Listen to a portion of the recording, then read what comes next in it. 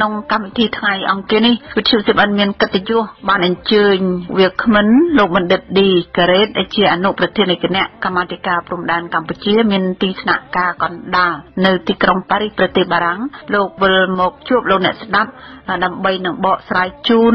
នៅចម្ងល់របស់លោកអ្នក ស្ដាប់មួយចំនួនតេតិននឹងស្ថានភាពនយោបាយនៅក្នុងប្រទេសកម្ពុជានាពេលចុងក្រោយនេះថ្មីថ្មីនេះហ៊ុនសែនដែលជានាយករដ្ឋមន្ត្រីនៃប្រទេសកម្ពុជាតំណាងឲ្យបកកណ្ដាលអំណាចគណៈបកប្រជាជនកម្ពុជា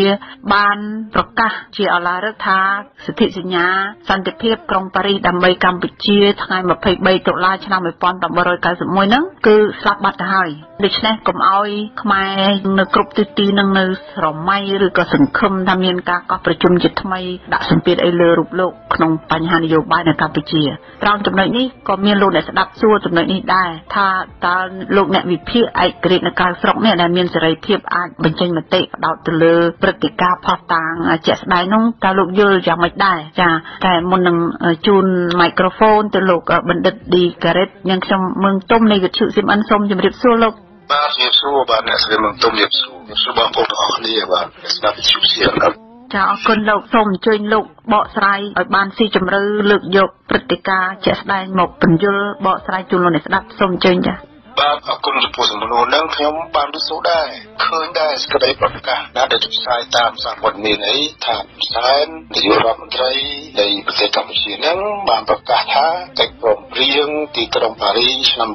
1991ហ្នឹងស្លាប់បាត់អស់ទៅហើយណាកុំយកមកនិយាយកុំយកមកសង្កាងក្នុងការងារអីអីសោះឡើយខ្ញុំមិនយល់ទាស់ទេខ្ញុំគិតថាវាជាយោបល់ត្រឹមត្រូវរបស់ហ៊ុនសែននៅក្នុងទស្សនៈរបស់គាត់ ដែលគាត់បានដាក់ខ្លួនជាអាយ៉ងយួនជាបាវព្រាវបំរើអំណាចរបស់បរទេសយួននោះក្នុងទស្សនៈហ្នឹងយោបល់នឹងត្រឹមត្រូវហើយពីព្រោះថាយើងឃើញច្បាស់ហើយហ៊ុនសែនទទួលស្គាល់តែសុពលភាពនិងបទបញ្ជានៃសិទ្ធិសញ្ញារបស់យួនដែលបានធ្វើនៅឆ្នាំ1979ហើយនៅក្នុងទសវត្សរ៍ឆ្នាំ1980នោះទេ គាត់ទទួលស្គាល់តែប៉ុណ្្នឹងទេបើគាត់ទទួលស្គាល់ប៉ុណ្ណឹងបានន័យថាគាត់មិនត្រូវទទួលស្គាល់អ្វីទៀតដែលជំទាស់ប្រឆាំងនឹងសិទ្ធិសញ្ញារបស់យួននោះទេអញ្ចឹងគាត់សន្និដ្ឋានថាសិទ្ធិសញ្ញានៅទីក្រុងប៉ារីសឆ្នាំ1991នោះស្លាប់បាត់ទៅហើយសំរុំនិងសំផាផលនៅក្នុងទស្សនៈរបស់គាត់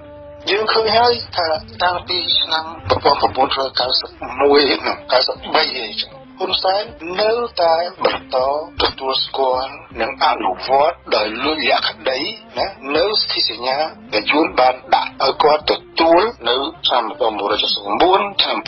1980ចូលហើយមកទោះបីជាសន្ធិសញ្ញាទីក្រុងប៉ារីឆ្នាំ1991ហ្នឹងបានប្រាប់ថាត្រូវលុបបំបត្តិទៅវិញស្ថិសញ្ញាយួនអស់ហ្នឹងហើយទោះបីជាបការណាលដំសៀនុដែលកាលនោះលោកនៅជាព្រះមគរដ្ឋនៅឡើយ បានជំទាស់ជាខ្លាំងហើយប្រកាសថែមទៀតថាមិនទទួលស្គាល់សិទ្ធិសញ្ញាអំពីទិលទឹកដីដែលហ៊ុនសែននិងយួនបានធ្វើទេ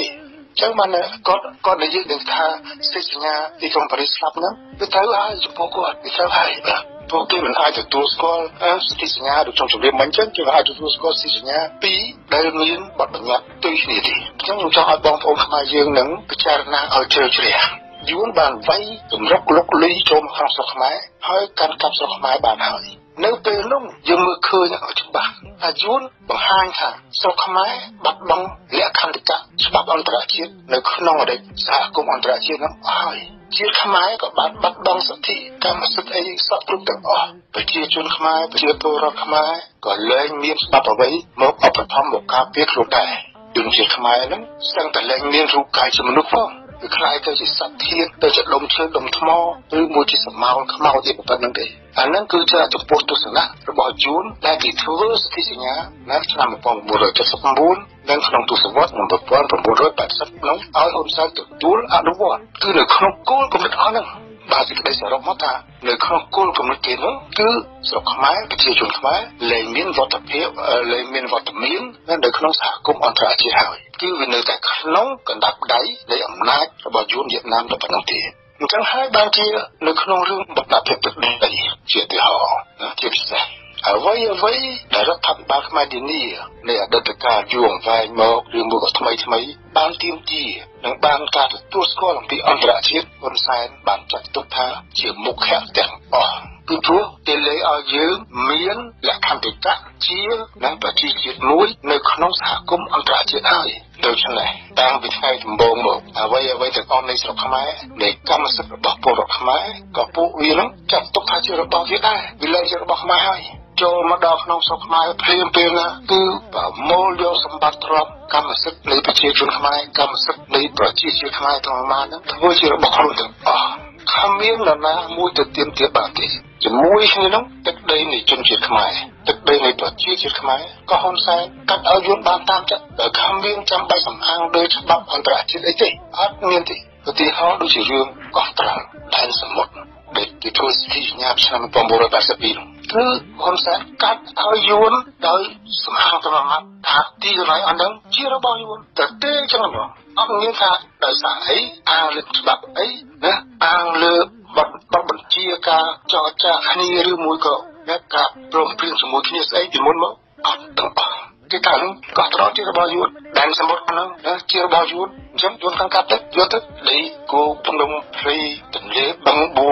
ស្ទឹងអីទាំងមកនៅប្រទេសកម្ពុជាទាំងមកហ្នឹងយួនចង់បានកន្លែងណាយកកន្លែងហ្នឹងទៅព្រោះវាគេថាវាមិនមែនជារបស់ខ្មែរទេបន្ទាប់មកទៀតនៅពេលដែលគេបានតាំងកាប់ស្រុកខ្មែរហើយគេឲ្យជនជាតិយួនរាប់សែនភ្លាមភ្លាមហ្នឹងរាប់ម៉ឺនរាប់សែនអ្នកហូរចូលមកតាំងពីផ្ទះសម្បែងរស់នៅនៅក្នុងស្រុកខ្មែរហ្នឹងតាមចិត្ត កែដល់រាប់លានអ្នកជាមិនទាន់ឲ្យចូលមកតាមចិត្តព្រោះដីនេះមិនមែនជាដីខ្មែរទេហើយអ្នកនៃម្ចាស់ស្រុកនៅខាងដើមនោះដែលនៅក្នុងស្រុកស្រាប់ហ្នឹងត្រូវជួយឧបត្ថម្ភពួកអាណានិគមយួនហ្នឹងឲ្យចូលមកតាំងទីបានយ៉ាងស្រួលតទៅទៀតគ្រប់វាខ្លាចវាជួយវាគ្រប់វាគ្រប់យ៉ាងទៀតពួកយួនអស់ហ្នឹងចូលមកនោះវាចង់ប្លន់យកអីយកទៅអត់អីទេយកចុះគ្មានទុកទៅអីទេតែនឹងហើយទីសញ្ញាយួនហ្នឹងណាវាបំបត្តិ សិទ្ធិសេរីភាពវាបំបត្តិកម្មសិទ្ធិនៃប្រជាជាតិខ្មែរនិងនៃពលរដ្ឋខ្មែរគ្រប់គ្នាទាំងអស់អានឹងហើយជាច្បាប់ដែលមានសុពលភាពណាសម្រាប់ហ៊ុនសែនហើយដែលហ៊ុនសែនបានបន្តអនុវត្តតទៅទៀតបើចេញមកក្តីដោយលក្ខំបាំងក្តីដោយស្ងាត់ស្ងាត់ក្តីនឹងយើងត្រូវយល់ហើយដែរបានជាហ៊ុនសែនក៏ថាសិទ្ធិសញ្ញាទីក្រុងប៉ារីសនឹងវាស្លាប់ការដែលគាត់និយាយថាសិទ្ធិសញ្ញាទីក្រុងប៉ារីសនឹងវាស្លាប់នោះវាមានន័យមួយទៀតដែរ គឺជាពាក្យដែលហ៊ុនសែនគាត់ប្រាប់ទៅខ្មែរថាអ្វីអ្វីដែលគាត់ធ្វើនឹងវាត្រឹមត្រូវ វាមានយុត្តិធម៌វាមានភាពសមហេតុផលទៅតាមច្បាប់ថ្មីដែលវាកើតពីព្រោះច្បាប់មុនមុនរបស់ប្រជាជាតិរ៉ូម៉ានវាបាត់បង់ហើយថ្មីរបស់គាត់ហើយគេអះអាងថាអានឹងគឺជាអធិបតេយ្យរបស់គេគេមានអំណាចចឹងប៉ុន្តែយើងសួរវិញដែរថាកិច្ចព្រមព្រៀងទីក្រុងប៉ារីសឆ្នាំ1991នឹងវានៅមានសុពលភាពទេព្រោះជាកិច្ចព្រមព្រៀងមួយដែលបានតាក់តែងឡើងចុះខសន្យាជាមួយគ្នានៅក្នុងនៅក្នុងចំណោមមហាអំណាចជាច្រើនដែលចាប់ផ្ដើមអំពីអង្គការសហប្រជាជាតិនិងមហាអំណាចធំតូចឯទៀតទៀតនៅចំនួន28ប្រទេសកិច្ចព្រមព្រៀងប៉ុណ្ណឹងនឹងអាចបាត់បង់សុពលភាពនឹងអាចសាបសូន្យបានវាលុះត្រាតែមានកិច្ចព្រមព្រៀងអន្តរជាតិមួយថ្មីទៀតដែលមានភាពសំខាន់ដូចគ្នានឹងកិច្ចព្រមព្រៀងនៅឆ្នាំ1991ហ្នឹង ដែលមានអង្គការសហជីវជាតិដែលមានមហាអំណាចអធិរាជចំនួន28 30នឹងចូលរួមធ្វើការកំណត់មួយថ្មីទៀតបើគ្មានកិច្ចព្រមព្រៀងមួយថ្មីពីនឹងទេកិច្ចព្រមព្រៀងទីក្រុងប៉ារីឆ្នាំ1991ហ្នឹងនៅតែមានសុពលភាពជានិច្ចជាកាលយើងត្រូវដឹងថារឿងការរៀបចំធ្វើកិច្ចព្រមព្រៀងទីក្រុងប៉ារីសឆ្នាំ1991ហ្នឹងជាមិនមែនជារឿងចៃដន្យទេ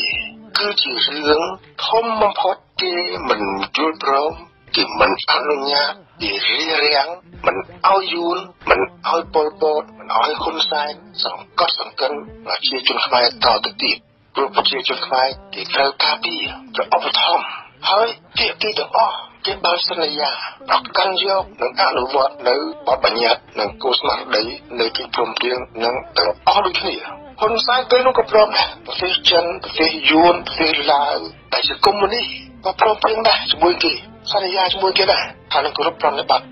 នៅបទបញ្ញត្តិនៃកិច្ចព្រមព្រៀងហ្នឹងប៉ុន្តែហេតុអីបានជាគេធ្វើកិច្ចព្រមព្រៀងហ្នឹងគេធ្វើកិច្ចព្រមព្រៀងហ្នឹងវានៅក្នុង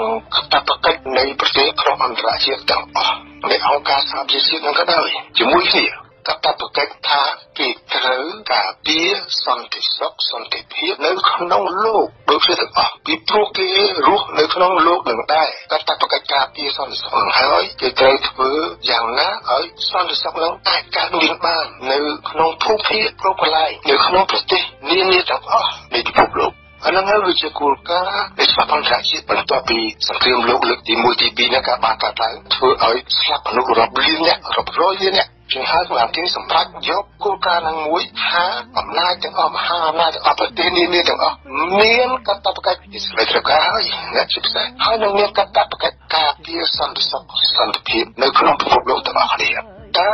ធ្វើយ៉ាងម៉េចដើម្បីយល់ថាគេធ្វើយ៉ាងម៉េចគឺត្រូវសួរថាតើនៅពេលណាដែលសន្តិសុខនិងសន្តិភាពកើតមាននៅក្នុងពិភពលោកគឺនៅពេលណាដែលខ្ញុំនិយាយសរុបឲ្យខ្លីគឺថាពេលណាដែលប្រជាពលរដ្ឋនៃប្រទេសនានានៅក្នុងលោកហ្នឹង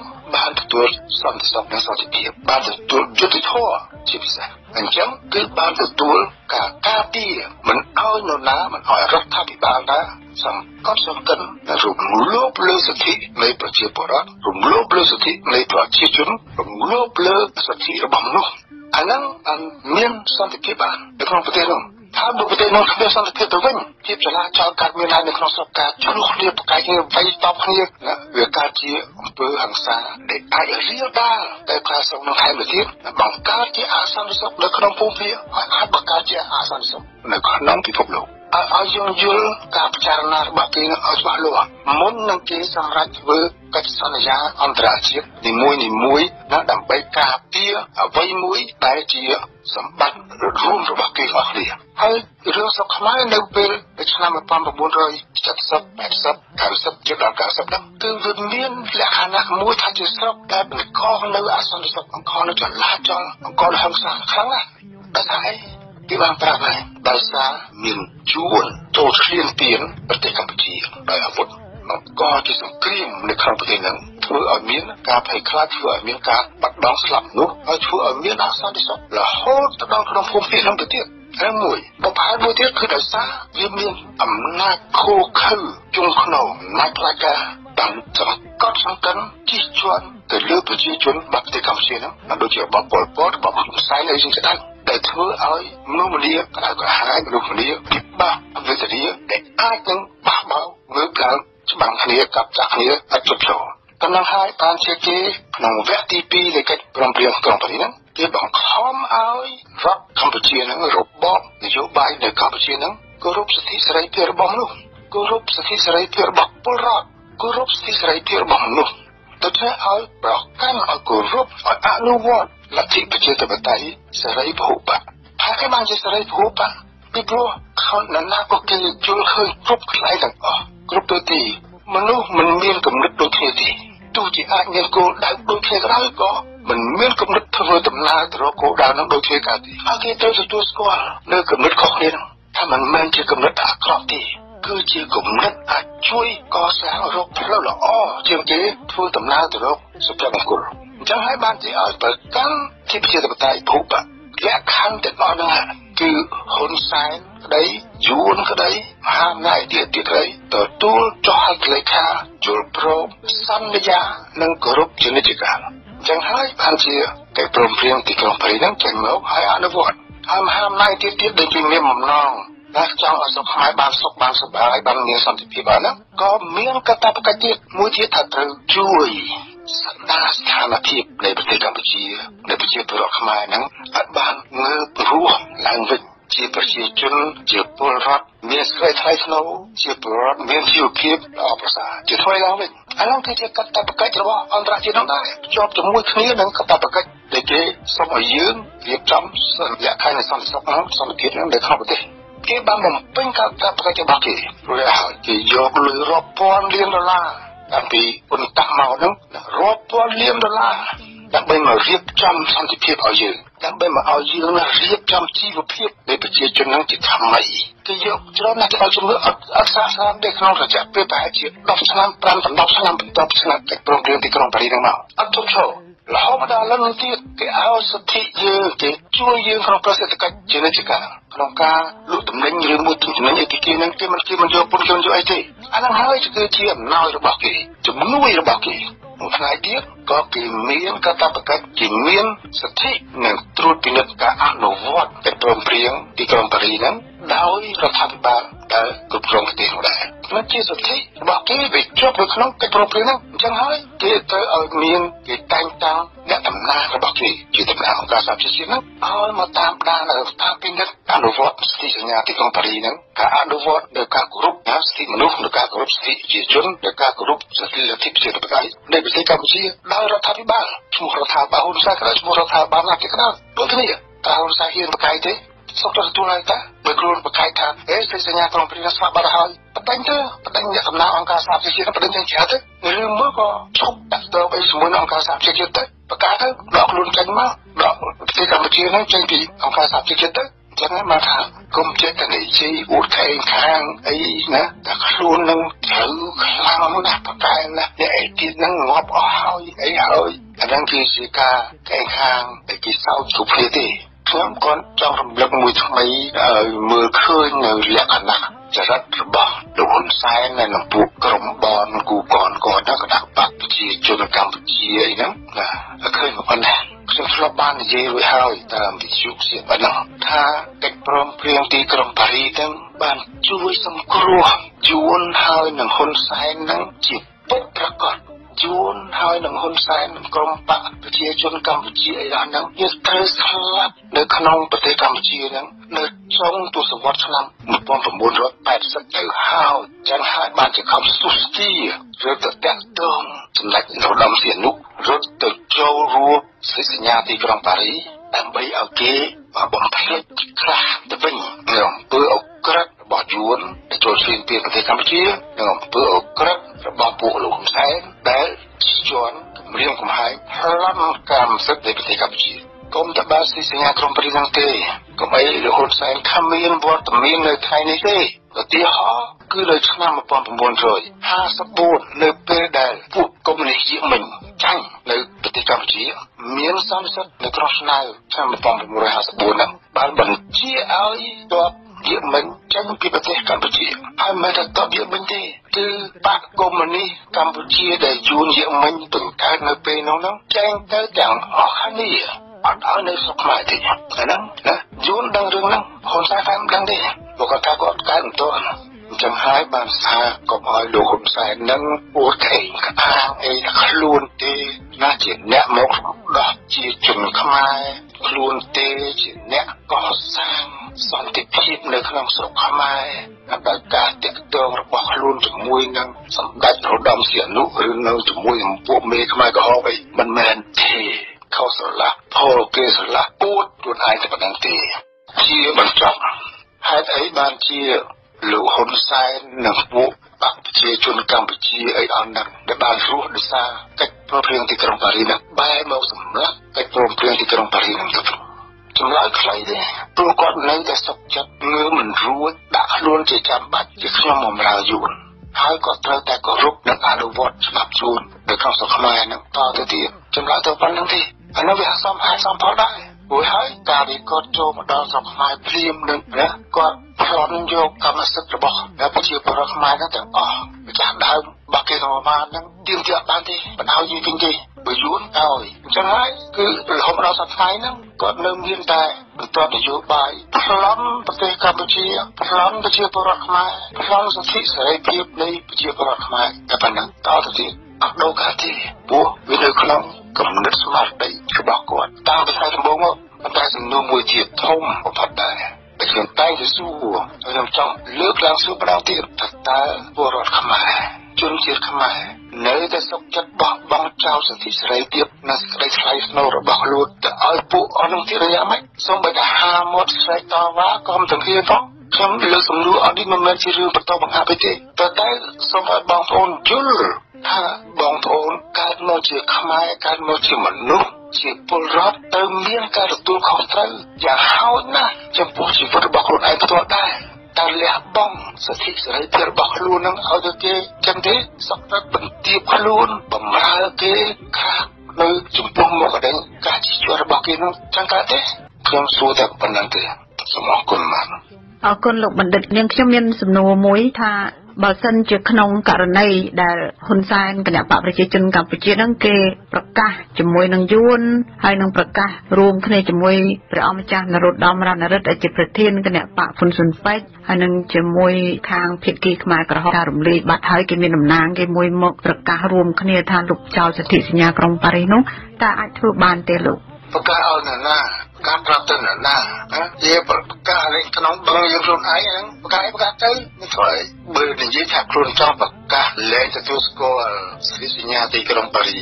ឬមកប្រកាសថាសិទ្ធិសញ្ញាក្រុងប៉ារីនឹងស្លាប់ហើយសូមឲ្យប្រកាសទៅអង្គការសហប្រជាជាតិដែលជាហត្ថលេខីធំមួយ ណាលើជំដីស្ទីសញ្ញាទីក្រុងប៉ារីហ្នឹងហើយដែលជាអ្នកចាត់ចែងអនុវត្តកិច្ចព្រមព្រៀងទីក្រុងប៉ារីហ្នឹងធំជាងគេសូមឲ្យប្រកាសទៅមហាអំណាចណានៃក្រមប្រឹក្សាសន្តិសុខនៅអង្គការសហប្រជាជាតិមានសហរដ្ឋអាមេរិកមានបារាំងមានចិនមានអង់គ្លេសណាមានរុស្ស៊ីជាដើមអានោះមកហៅថាសេចក្តីប្រកាសមកចត់ អញ្ចឹងប្រកាសទៅមិនក៏មិនប្រកាសយូរមកហើយព្រោះគុំតែកែងខាងអីលើកដាលក្រុមអីហ្នឹងដើម្បីបំភ័យណាប្រជាជនខ្មែរអស់នោះទេអាហ្នឹងវាជារឿងក្មេងអីលេងសើចនឹកឃើញធ្វើអីធ្វើទៅតែប៉ុណ្ណឹងទេ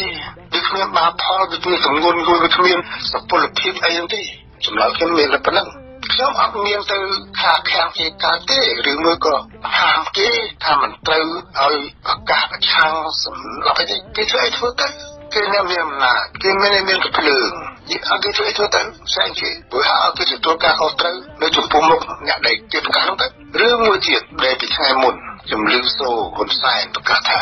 អឺមិនអាចកោះប្រជុំហៅថាលេខទីក្រុងប៉ារីហ្នឹងសញ្ញាទីក្រុងប៉ារីហ្នឹងយកមកពិចារណាឲ្យគ្នាកើតទីទេណាយកមកសម្រេចការឯកើតទេ ពីព្រោះវាមានអីហត្ថលេខីខ្លះហ្នឹងប្រទេសជាហត្ថលេខីខ្លះទៅបានផ្លាស់ប្ដូររបបណាពីពីសហភាពសូវៀតទីហោគេលើកឡើងមកពីសហភាពសូវៀតទៅជាប្រទេសរុស្ស៊ីហើយអីហើយដូច្នេះมันអាចចូលរួមប្រជុំអីបាននិយាយហ្នឹងគឺនិយាយការផោបោកប្រាស់លេងទៅទីមួយថែមទៀត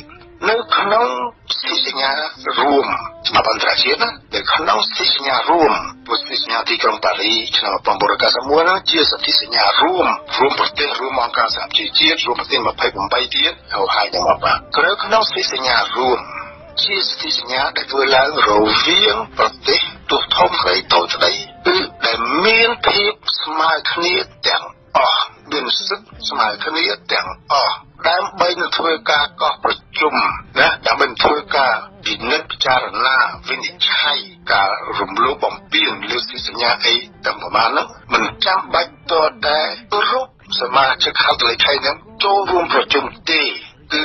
ហត្ថលេខីតែមួយក៏អាចប្រកាសក៏អាចធ្វើការវិនិច្ឆ័យក៏អាចធ្វើតនកម្មទៅលើអ្នកមានកំហុសនឹងបានដែរ ពីព្រោះដូចខ្ញុំជម្រាបមិញចឹងសិទ្ធិសញ្ញានោះជាសិទ្ធិសញ្ញារួមហត្ថលេខីម្នាក់ម្នាក់មានសិទ្ធិស្មើនឹងអ្នកឯទៀតទាំងអស់ដូច្នេះគេចង់ធ្វើអីគេចង់អនុវត្តសិទ្ធិសញ្ញានឹងតាមម្ដងគោលការណ៍ច្បាប់របស់គេហ្នឹងបានទាំងអស់មិនចាំបាច់តតែមាន20 30នាក់ចូលរួមប្រជុំវិនិច្ឆ័យដាក់តរកម្មបានមានតែវិជាណាស្រីសម្រាប់ជីវិតជំនាញបាននោះទេមិនទេជាធម្មតាទេលោកហ៊ុនសែនក៏មិនដឹងស្ដាប់អន្តរជាតិនោះស្អីផងជាថា ជាពិសេសមួយទៀតខ្ញុំចង់ជំរាបបញ្ជាក់ថាកុំឲ្យហ៊ុនសែននិងពួកក្រុមគូកនបរិវាររបស់គាត់ចេះតែលើកមកដោះសារនិយាយក្អេងខាងថាអំពើដែលខ្លួនសម្រាប់វិធាននៃការដែលខ្លួនសម្រាប់ដែលជាអំពើក្នុងក្នុងប្រតិស្ថិអីហ្នឹងរំលងច្បាប់ថាគឺដើម្បីការពារ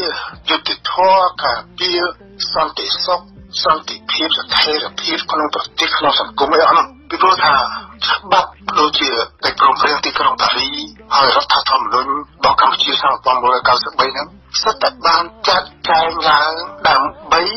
ការពារយុត្តិធម៌ដើម្បីថែរក្សាសន្តិសុខសន្តិភាពស្ថិរភាពនៅក្នុងប្រទេសកម្ពុជារួចហើយ ដូច្នេះត្រូវអនុវត្តច្បាប់អស់នោះទៅបើយើងចង់ការពារស្ថិរភាពសន្តិសុខសន្តិភាពអីហ្នឹងនៅក្នុងប្រទេសចឹងហើយបានជាគេកំណត់ឲ្យថាអ្នកមានអំណាចអ្នកកាន់អំណាចត្រូវធ្វើអ្វីអ្វីទាំងអស់នៅក្នុងក្របខ័ណ្ឌច្បាប់លក្ខខណ្ឌច្បាប់ដែលបានកំណត់សាច់មុនហើយគឺការចាប់ចងគេក្តីការចោទប្រកាន់គេក្តីជាទីហោ ត្រូវធ្វើនៅក្នុងលក្ខខណ្ឌច្បាប់ដែលបានកំណត់ការចោទប្រកាន់គេនឹងត្រូវឲ្យមានផុសតាមមានលក្ខណៈប្រកបប្រជាដែលគេអាចពិនិត្យឃើញទាំងអស់គ្នាបាននៅលើទីកន្លែងមិនគ្រាន់តែជាយករៀនពាក្យសម្ដី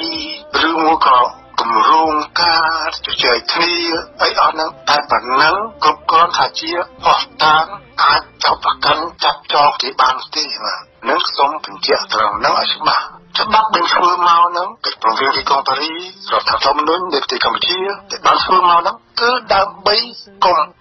យអ្នកមានអំណាចរំលោភលើសិទ្ធិសេរីភាពនៃអ្នកឯទៀតកុំឲ្យអ្នកមានអំណាចបង្កអសន្តិសុខបង្កភាពចលាចលវឹកវរផ្ទៃក្នុងដើម្បីជាប្រយោជន៍របស់ខ្លួននឹងហើយគឺជាការកំណត់របស់ច្បាប់គំលឹងមកនិយាយថាគេខ្ញុំគាត់ចង់បាននេះឲ្យមានសន្តិសុខសន្តិភាពស្ថិរភាពនៅប្រទេសខ្ញុំធ្វើចឹងដើម្បីអភិវឌ្ឍអីអញ្ចឹងច្បាប់បានកំណត់រួចហើយសម្រាប់រឿងអស់ហ្នឹងសម្រាប់គោលដៅអស់ហ្នឹងដូច្នេះត្រូវគោរពច្បាប់ក្រុមនិយាយផងគេបោកប្រាស់គេណាមុសារ៉ាពេលរវេលាហើយប្រកាសថាខ្លួនជាអ្នករៀបចំសន្តិភាពការពារសន្តិភាពការពារស្ថិរភាពនេះនោះវាក៏ហើយ ចានាងខ្ញុំសូមថ្លែងអំណរគុណដល់ជ្រាលជ្រៅចំពោះលោកបណ្ឌិតឌីការ៉េតអនុប្រធាននៃគណៈកម្មាធិការព្រំដែនកម្ពុជាមានទីស្នាក់ការកណ្ដាលនៅទីក្រុងប៉ារីសប្រទេសបារាំងដែលលោកបានផ្ដល់បទវិភាគស៊ីជម្រៅទាក់ទិននឹងបញ្ហាគេហៅថាសុពលភាពនៃកិច្ចព្រមព្រៀងសន្តិភាពក្រុងប៉ារីស23តុលាឆ្នាំ1991ពីព្រោះថាខួបខួប26ឆ្នាំនៃកិច្ចព្រមព្រៀងអន្តរជាតិចំពោះកម្ពុជានេះនឹងចូលមកដល់ថ្ងៃទី23ខែតុលាឆ្នាំ2017នេះចាសូមអរគុណច្រើនលោកនៅបទវិភាគពិស្ដារហើយនឹងសេចក្តីឆ្លើយបំភ្លឺតបនឹងសំណួររបស់នាងខ្ញុំសូមអរគុណចា៎បាទអរគុណបាទសូមអរគុណស្រីបឹងទុំបាទអរគុណបងប្អូនទាំងគ្នាសូមអរបងប្អូនទាំងអស់គ្នាជានិច្ចការដូចខ្ញុំតែងតែជូនពរចង់ឲ្យបានសេចក្តីសុខសប្បាយជានិច្ចការតបទៅបាទ